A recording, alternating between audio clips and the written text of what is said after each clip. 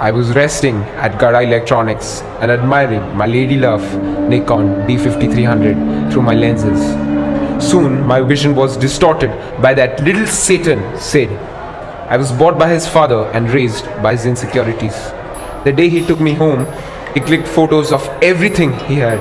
His mom was so fat that every time he clicked her photo, I wished I had panorama mode. But who knew that Sid would one day grow up to be a fashion photographer?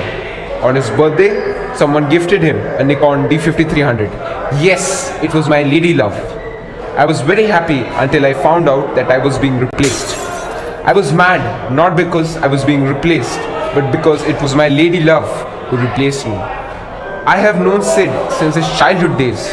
I've been a part of his journey of clicking pictures of nature, seashores, whiskey bottles to Victoria's Secret models. I still love Sid from the bottom of my batteries, even though things have changed. Alas, I am but an old camera meant to be replaced.